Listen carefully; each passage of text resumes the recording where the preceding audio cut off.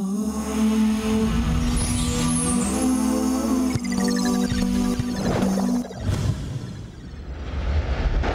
there a father in this world who would not try to provide for his children and his wife?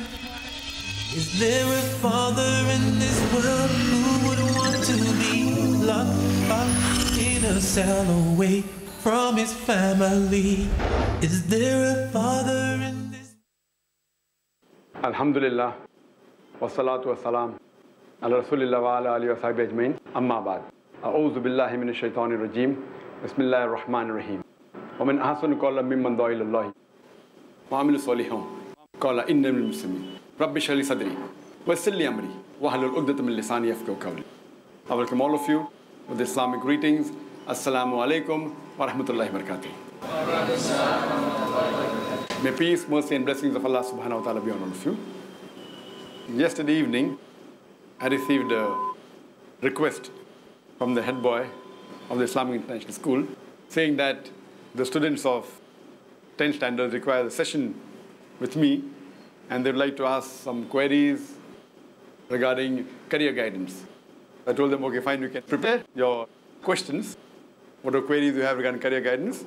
And that's how we have this session of the 10th A and B, the girls and boys of the Islamic International School. So I hope you all have prepared your questions regarding career guidance. See to it that the questions are limited to career guidance only. Any other questions on Islam and comparative religion, anything else on fiqh masal can be asked later on.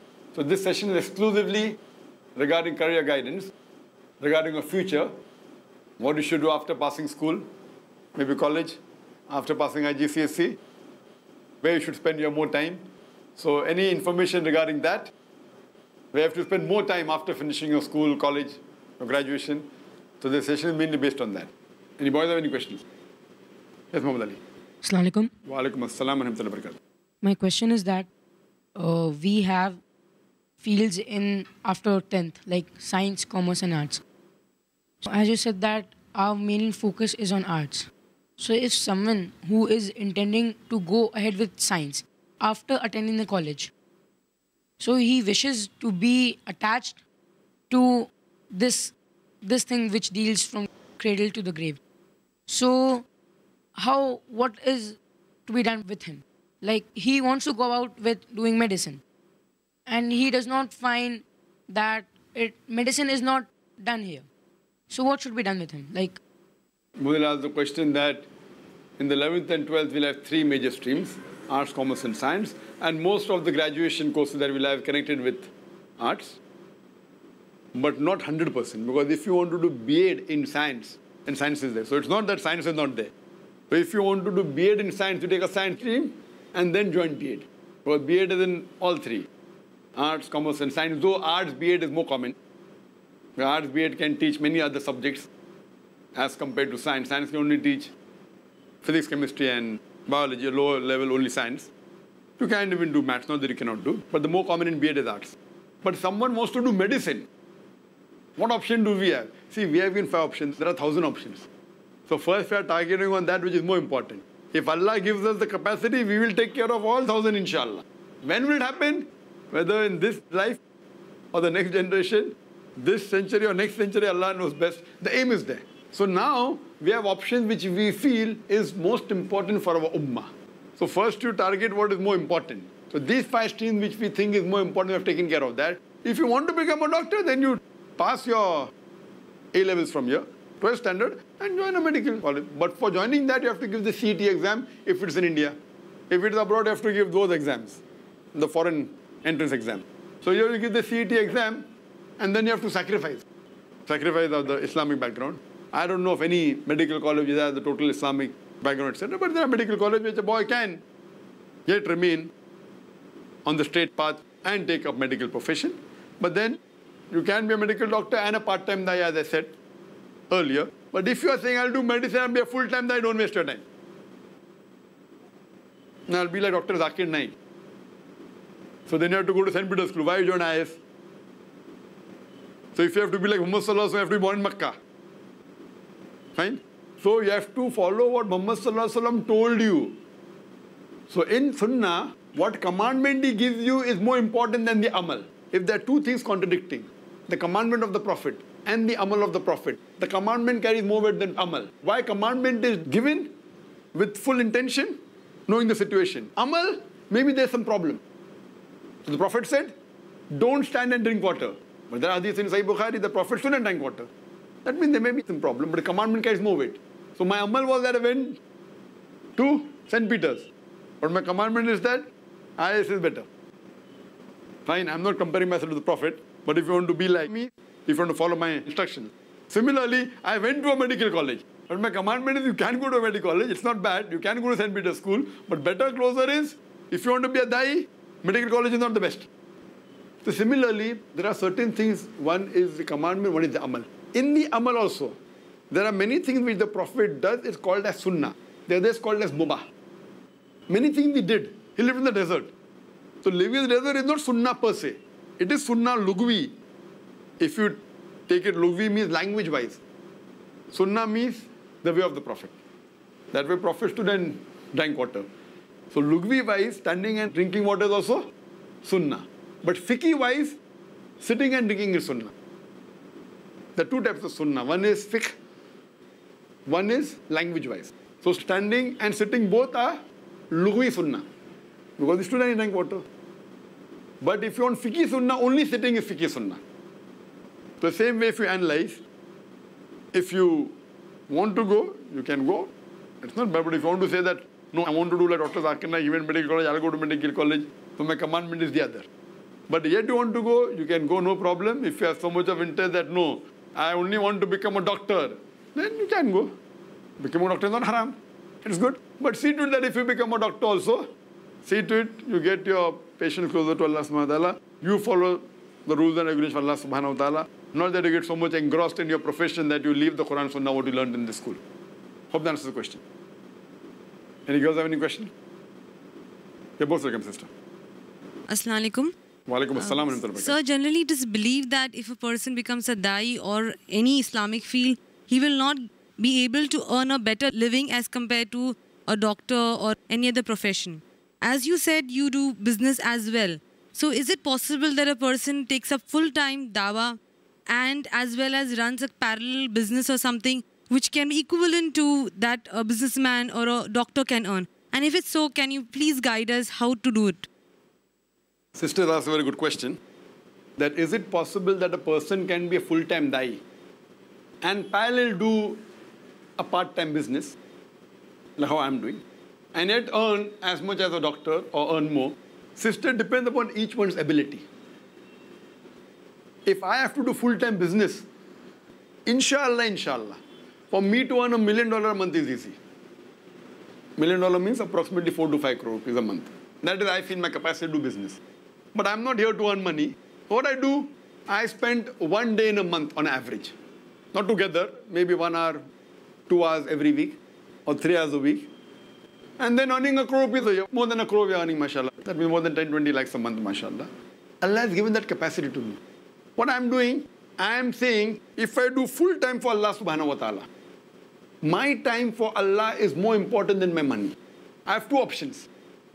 What I do, I do 100% business, earn 4 crores a month, and give it to Allah for the cause of Allah to spend. Or just spend one day a month, earn 10, 20 lakhs a month in that day. Fine. And give my balance time for Allah. So What I'm doing, I'm not taking any salary from the organization. I'm giving in charity. Now, everyone may not have that capacity. If someone has that capacity, it is the best. It is the best. But everyone may not have that capacity. Because people fail to realize that money is not the most important thing for life. Most of the people think money is the most important. And everyone thinks that IRF is well because money is everything. And I just had an interview with Indian Express.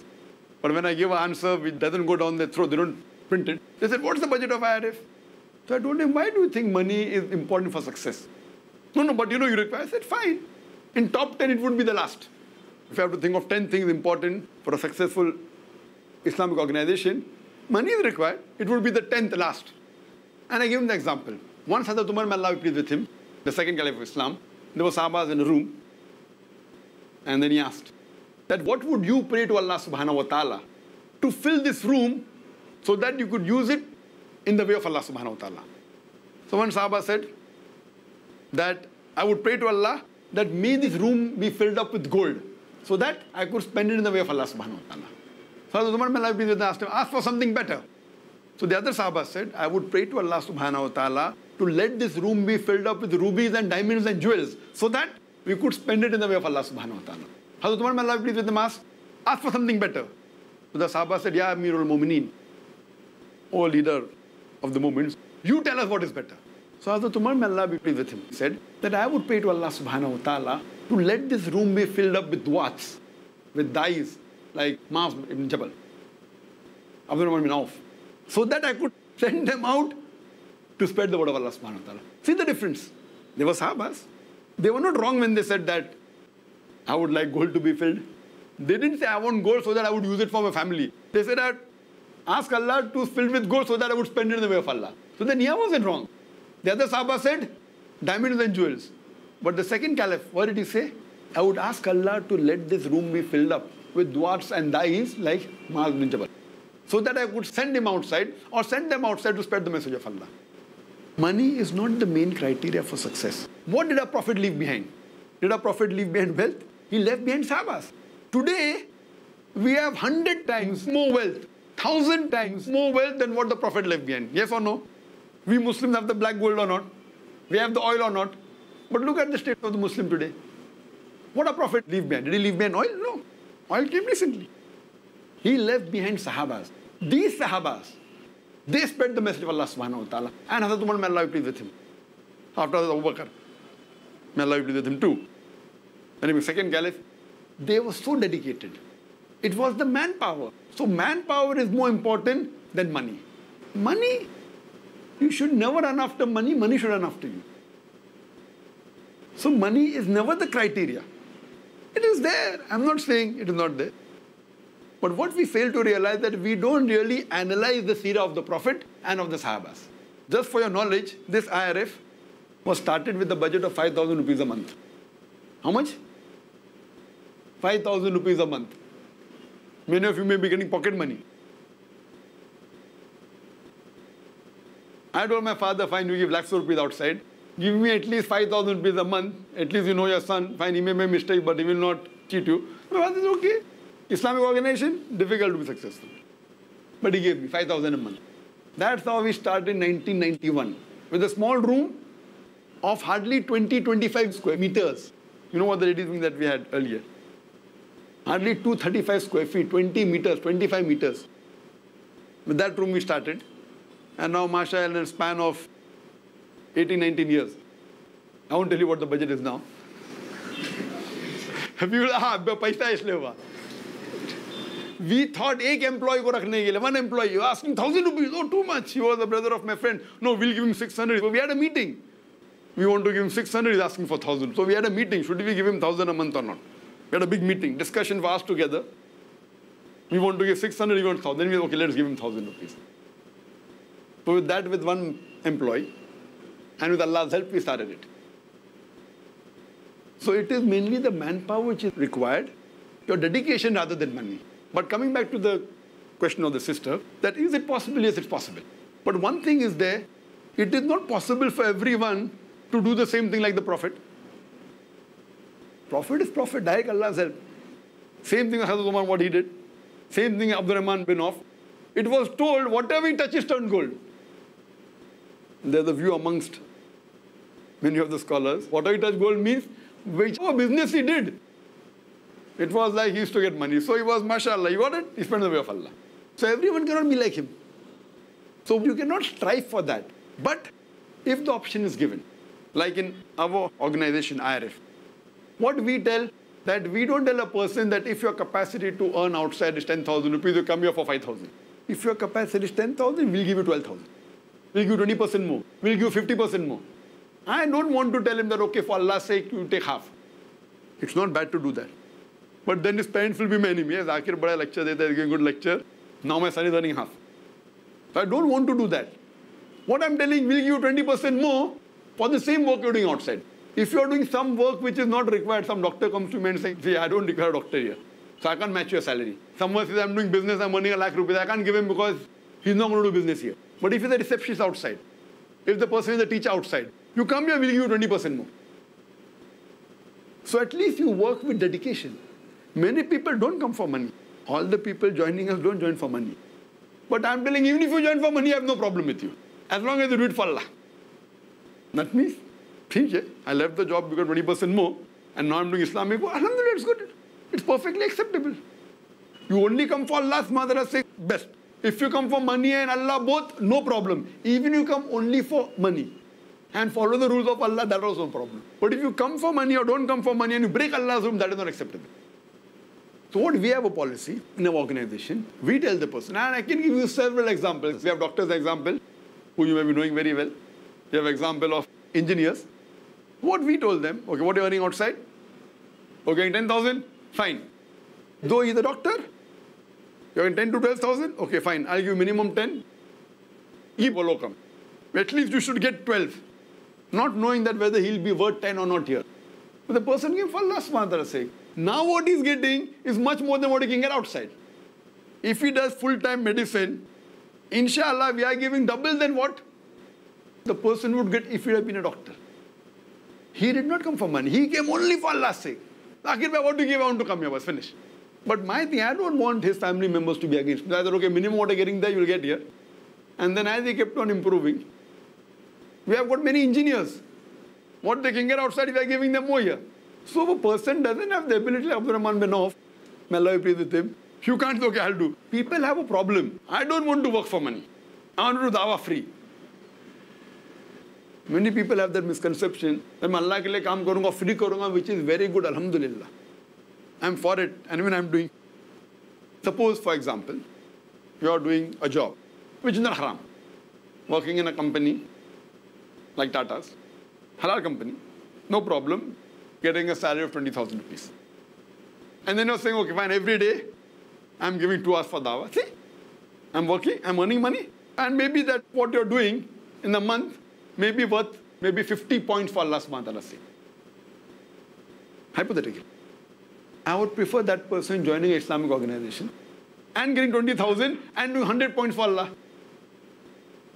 Because with what he's getting 20,000 salary, he's doing worth, worth 30,000 for Tata company. The Tata company won't keep you. Or he may be doing work worth 40,000. So unless the employer doesn't benefit, he won't keep you. If you get him worth 20,000 rupees profit, why will he give you 20? He has to make a profit from you. So he's guiding you with your guidance. You're worth 20, he's giving you 20, but with your ability and his guidance, he's getting 40,000. So from that 40, he's giving you 20. So you better work for an Islamic organization and get 20,000 rupees. Don't expect to get more. And you're doing work worth 100 points for Allah. So what happens? You're getting 20, they are getting 20 here. They are doing 50 points work for Allah, you are doing 100 points. So that person will get more sawab than a person who is working outside and doing two hours free. Do you understand? That means the net result is fine if he works here and demands 50,000. Then he demanding. Well, outside your value is 20, why are you demanding 50? Niyat is wrong. But if someone gives 30 to him, no problem. Someone gives 50, he can work. But if he demands, knowing his outside value is 20, that means he's coming for money also or only. If he's coming only for money, inshallah he won't get sawab in the akhirah. But he's coming for two in one, maybe Allah will give both this world and the akhirah. So for a normal, a good dai and a good Muslim or a good Muslimah, they should say my outside value is X. If they demand X, it is acceptable for the same type of work. But if they demand 2X or 3X or 1.5X, it is wrong. The person who is employing you, he gives you more, that is his prerogative. So many people may not have the ability, like Abdurrahman bin Auf, may Allah be pleased with him, or like the Sahaba of that time, Muhammad to do a part-time work. Few may have. So if you try doing that, what will happen? Your ability to do 100 points of work for Allah, you ending up doing 10 points work for Allah. Many people come, Zakir bhai, hum volunteer karenge. For that volunteer, I have to waste time explaining. And my time is important. I said, by volunteer nahi chahiye. Sab chahiye. When we want volunteers, we may require for certain functions like when we have the conference.